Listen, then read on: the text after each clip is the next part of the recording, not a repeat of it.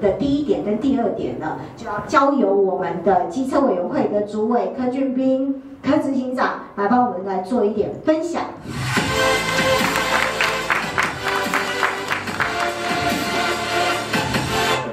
呃，各位媒体朋友，大家晚安，大家好。呃，很高兴啊，哈，这个呃，今天我非常高兴，就是说我们这个微型电动二轮车能够啊立法正式上路。那我跟各位报告一下，就是整个呃电动车的趋势是是大家都看得见，大家全世界都在推的。但是我们去看这个全世界的电动车的推广过程。你会发现，到现在是逐步在增加，没错，但是主要还是在大概呃一千瓦以下，就是说一 k 瓦以下的为主。这个部分大概就是我们现在的微型呃电动二轮车，它大概占的市场全世界电动车大概超过九九十五 percent。为什么？因为它主要是它的电池目前就是呃固定充或者是。呃，抽取式充充电的时候，它的重量一个电池重量大概都在呃六公斤以下，所以一般人可以拿回家充，而且它充起来，它它因为它的呃马达使用的电不高，所以它是它能够能够骑的呃距离非常的长，也就是说普通来讲它都可以，尤尤其锂电池的话，它的它可以骑到六十到一百公里之间，所以说对整个呃，使用者来讲，他要取代那个燃油车是非常有机会，而且它的价格也不高啊，所以说这个是一个呃，在整个全世界的市场逐步在增加，主要这个部分，因为呃，跟台湾的市场不太一样，因为台湾是是要求的消费者要求的是一个高速度、高马力，但是全世界现在因为电池的限制，主要还是以微型电动二轮车为主。那我跟各位举个例子，像我们，呃，销到欧洲，在光阳来讲，销到欧洲大概占我们外销的大概六成，其中在整个欧洲来讲，它的呃苏格达大概有一半是五十 CC，那在大在整个欧洲的五十 CC，它分了两级，就是一个限速二十五，一个限速四十五，那这个部分，这个部分消起来来讲，现在一直在变它的市场。我有几个，呃，市场最多的是，那像荷兰，像那荷兰的市场，它现在的电动车和电动二的电动车已经接近九成，就是说微型电动二轮车它接近九成哦，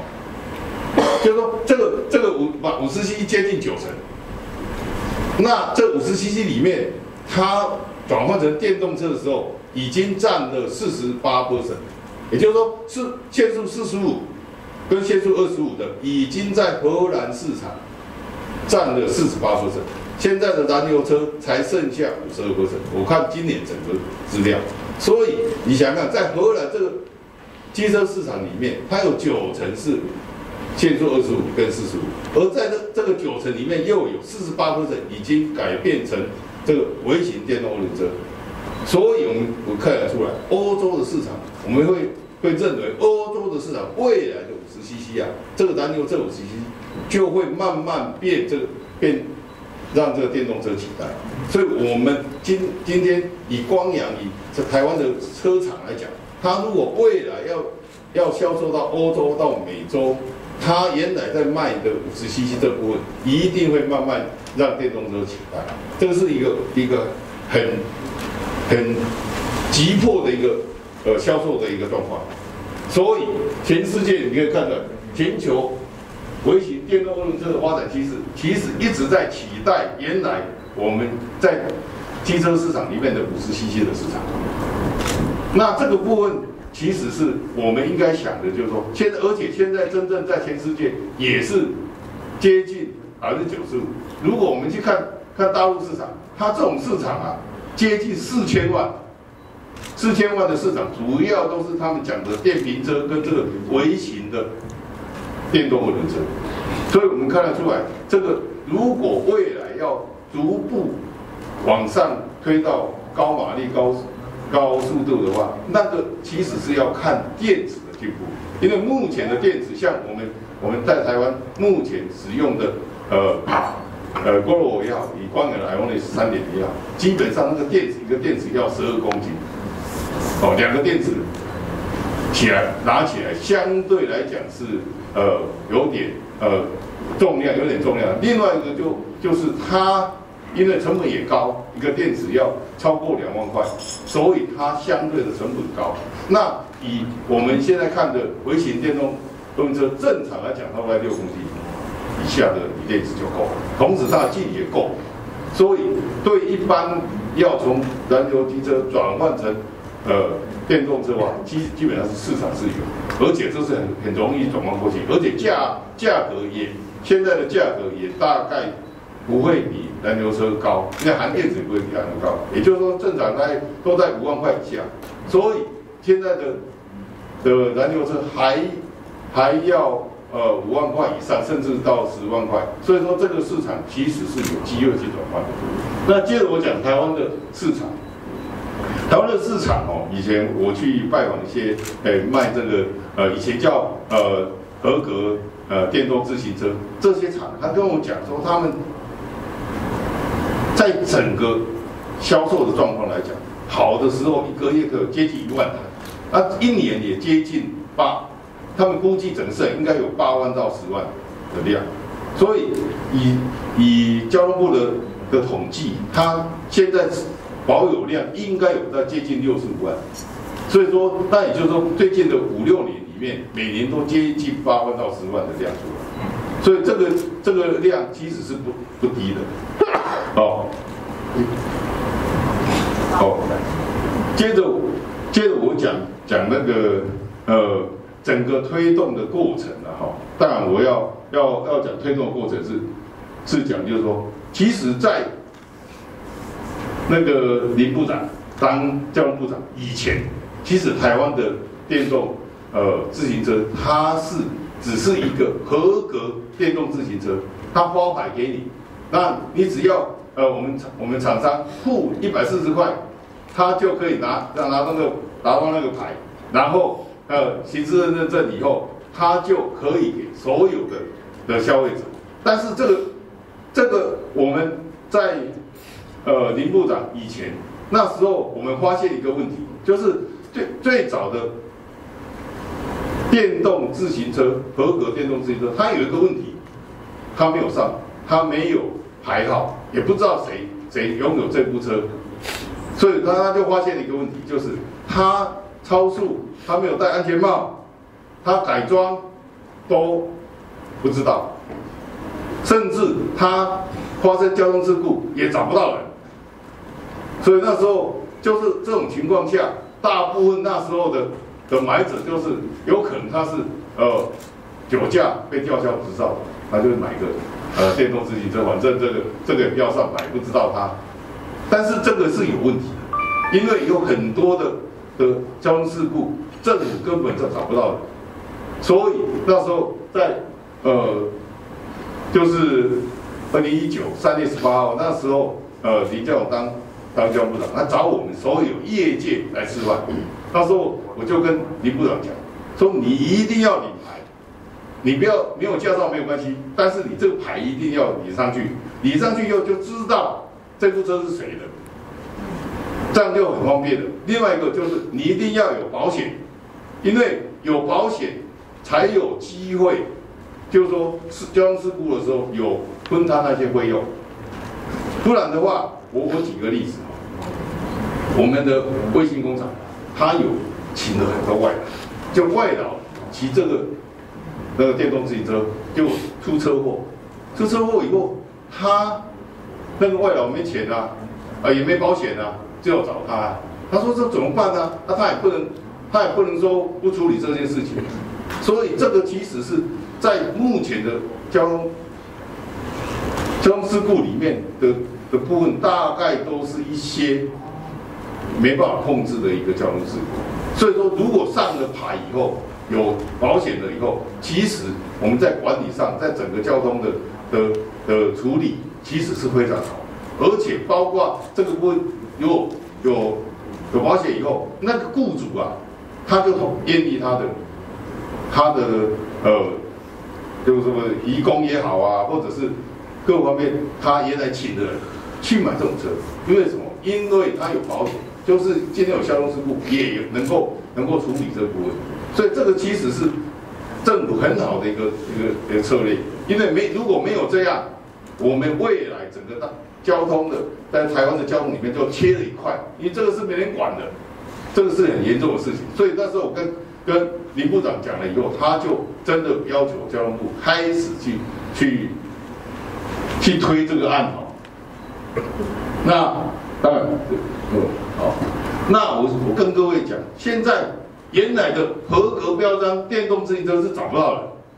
那现在微型电动二轮车以后就找找得到人了，因为它有号码，而且这个牌照可以找到这个是谁的谁的车啊？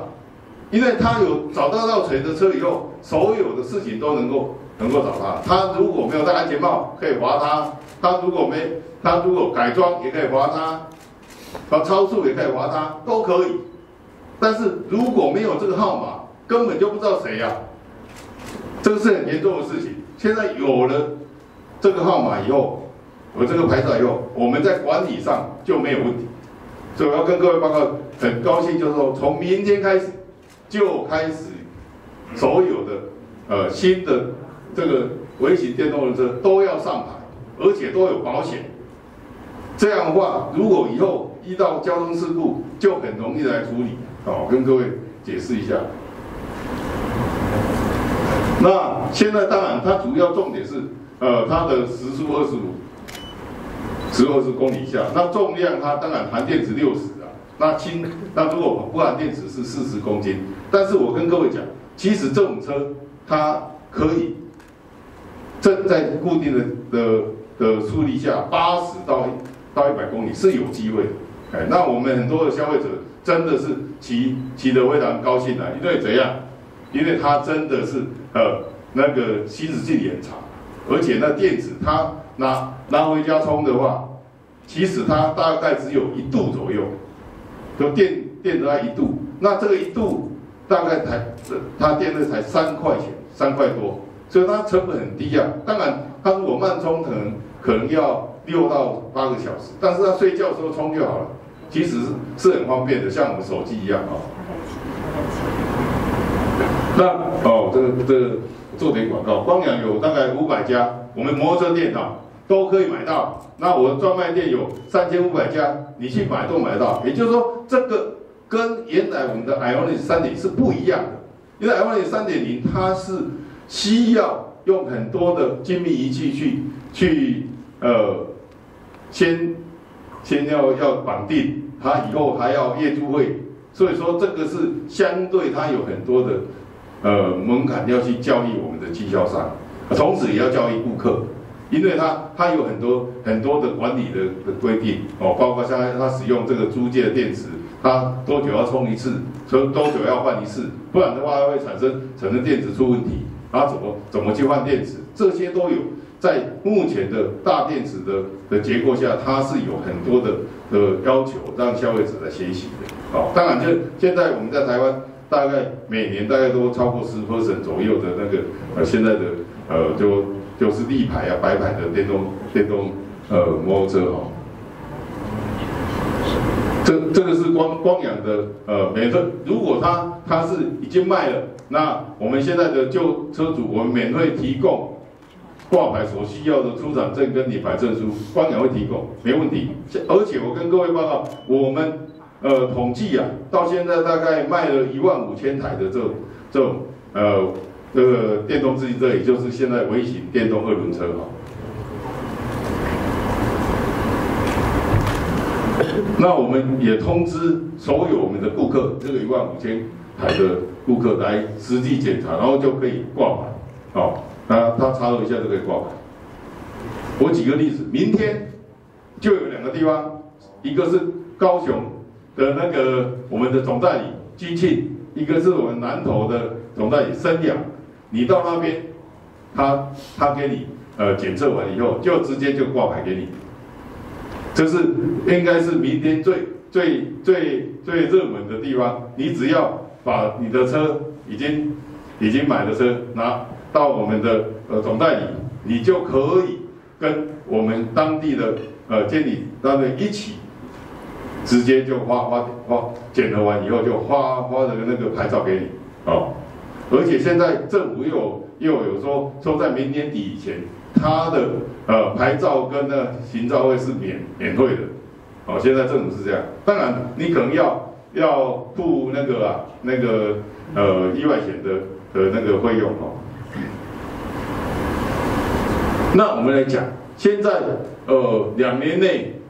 所有监理机构的目标啊，希希望把旧的都跑回来，他们估计六成会回来。那六成回来，他估计大概三十八万八千还会回来监理所哦，这个。这个整个牵涉的监理所，在两年内他们都会回来，所以可以看出来，大概现在的的使用者大概有六十五万左右。那提供给各位就是说，这些他们都有指标的哦，这个是是那个 KPI 哦，每个每个那个监理所的 KPI 哦，所以说表示我们现在的车大概他们估计六成在两年都能回来回来上海。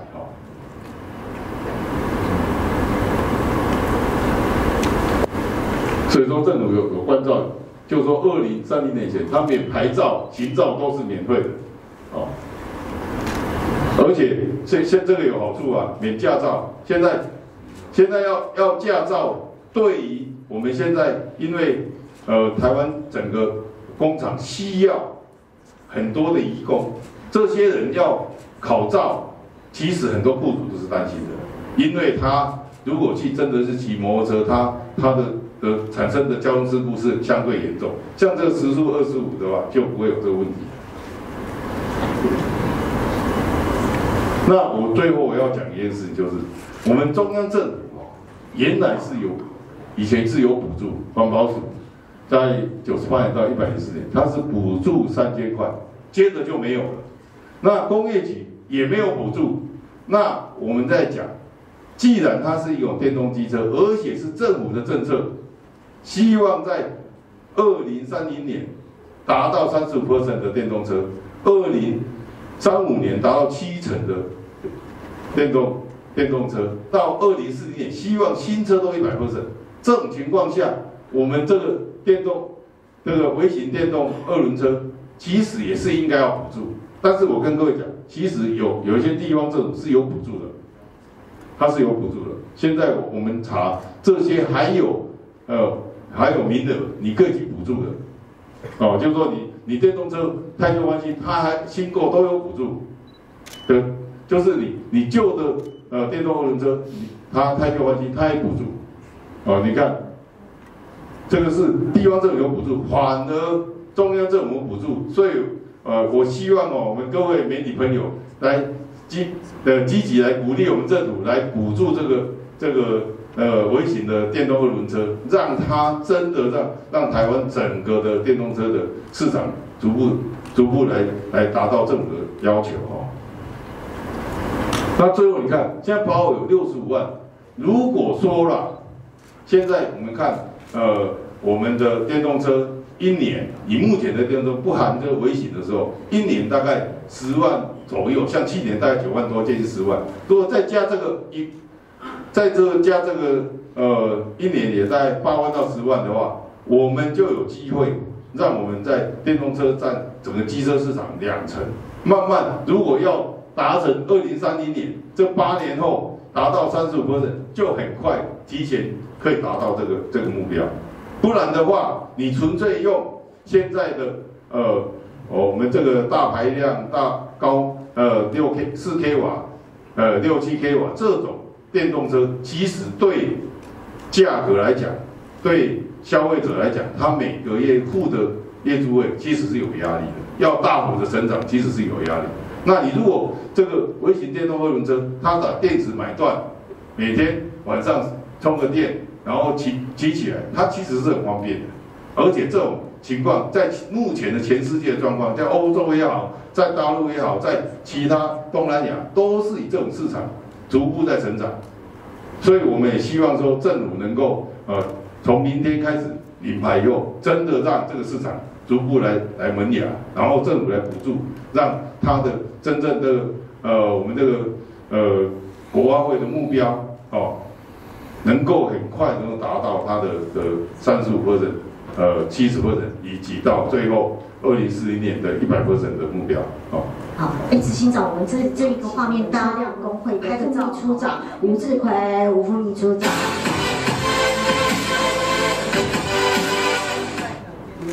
呃，我们车辆工会的常务理事，还有我们机车制造委员会的主任委员，同时也是我们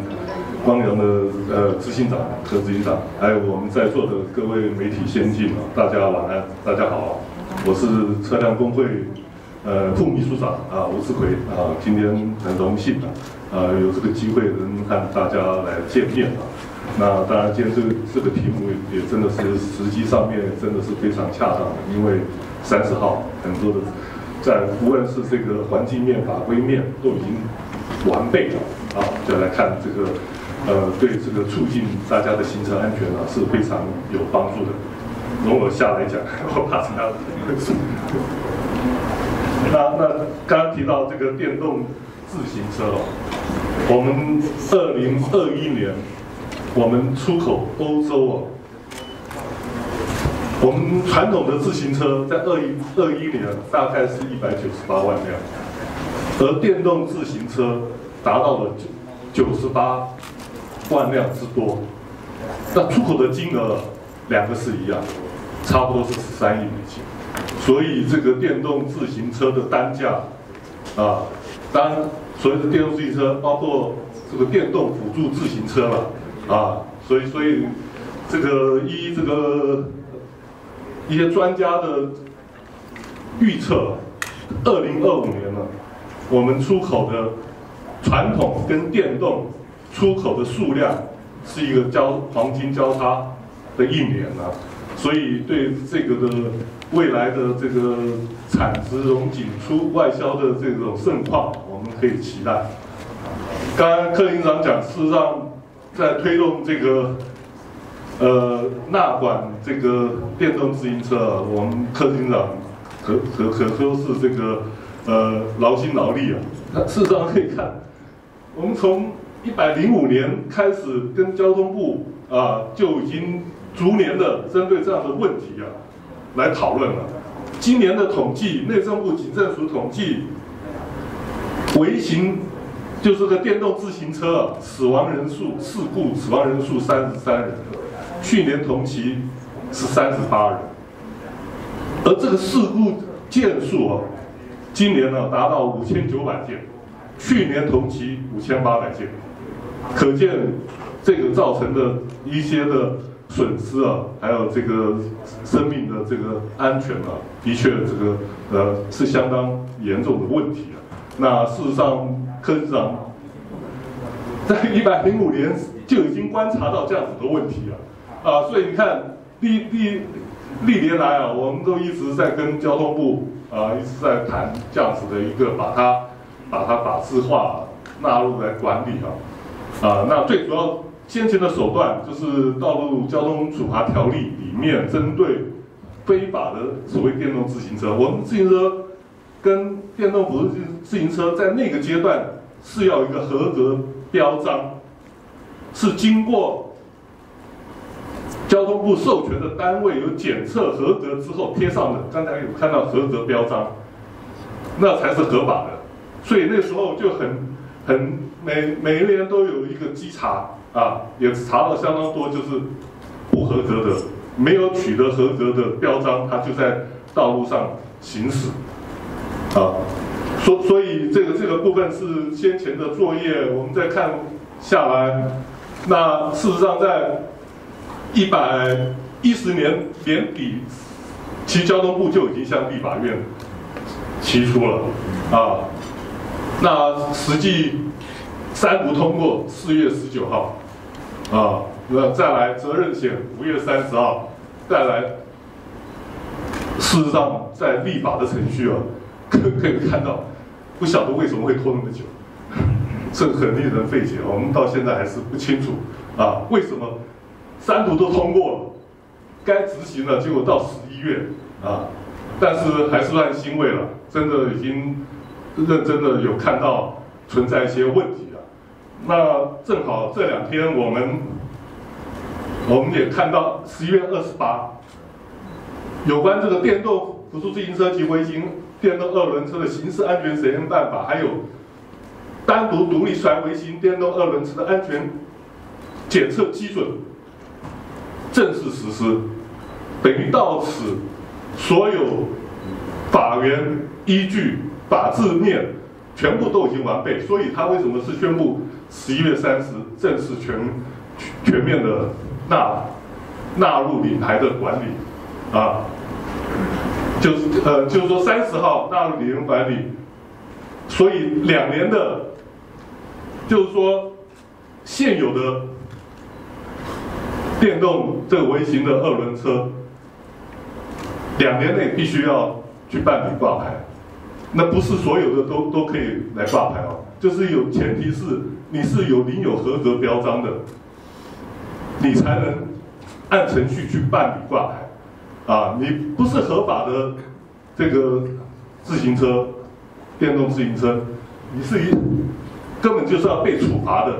也挂不了牌，啊，这是前提。好，大家就是看我们所谓的电动机车，还有这个自行车的定义啊，这定义就是从《道路交通安全规则》里面讲得很清楚，我们跟机车。还有所谓的慢车，啊，机车我们现在有小型的、普通的、普通重型跟大型重型，啊，啊，包括它的马力还有它的速率都有限制。那慢车之前就是电动辅助自行车跟电动自行车是合并一起，啊，所以那时候那时候都都应该要经过这个检测、行驶认证。才能行驶道路。那这个时间开始，就把电动自行车改名为微型电动二轮车，就跟电动辅助自行车切开、切切割开来。那差别什么？那时候我们业者也有建议，那第一个就是说名称变更了，叫微型电动二轮车。另外我们业主有建议，哎。这个为什么电动自行车不就给它并入机车里面就好了？你要挂牌，你的管理机制都都按照那个程序走。啊，还有还有就是就就是说呃呃，最后都没有被采用了，因为差别什么？上面的电动机车有一个税的问题，因为上面有货物税，啊，我们机车有货物税。十七 percent 电动机车是减半，但是到目前，呃，目前因为要鼓励大家使用电动机车，所以现在的税率都是零，电动机车税。呃，再来上面的要考驾照，慢车不用考驾照。啊，对这个亲民来讲啊，比较务实面啊，大家就接受度会比较高。那微现在不同的就是说，电动微型电动二轮车，一个你要佩戴安全帽，第二个你驾驶要要要要超过十四岁，要投强制保险，啊，这是现在啊新的呃要件出来，啊。呃，这个这个我是引引用我们媒体里面，我是看这篇报道算是蛮完整的，就是在道路交通处罚条例，还有在强制保险金管法的规范里面都提到了，如果你没有去挂领牌，你会有什么样的处分？啊，还有你没有保险，啊，相关的这个就是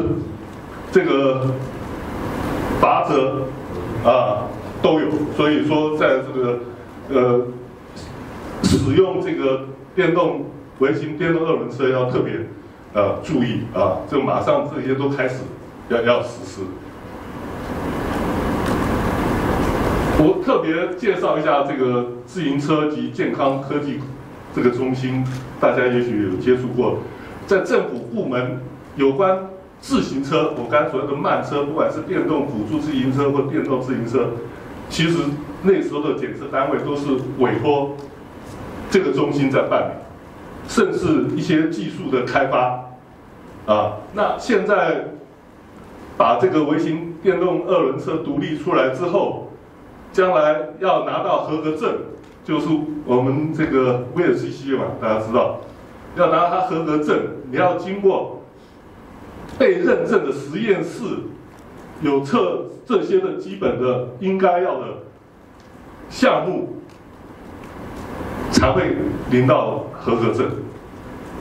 啊，那那这个这个单位除了说可以办理这些基准，那业者有技术上面的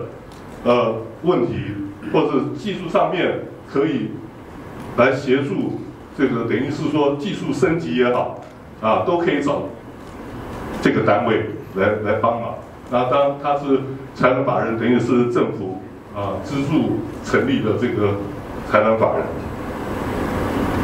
那这个也是刚才。呃，柯局长提到，我们去看这个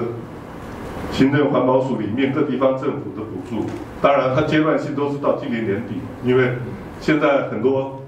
新上任的我们的县市首长，我相信他会把这一项的补助当成他的政绩啊，啊，当然这个跟预算有关的，可能每年度去编列预算，他才可以去执行补助，啊，所以这个我们大家也可以期待，消费者应该。还是我是个人认为，还是会享受到一些政府的这个资源，来让大家不管换购也好，或新新购也好，啊，那以上是我今天很很简单、简很简单的来来跟大家分享一下这些资讯。好，谢谢大家。